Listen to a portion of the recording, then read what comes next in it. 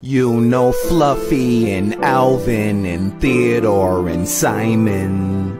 Furball and Bugsy and Chirpy and Diamond.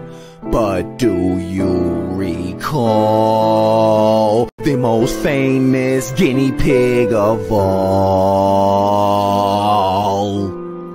Poopy the little nose guinea pig had a very tiny nose.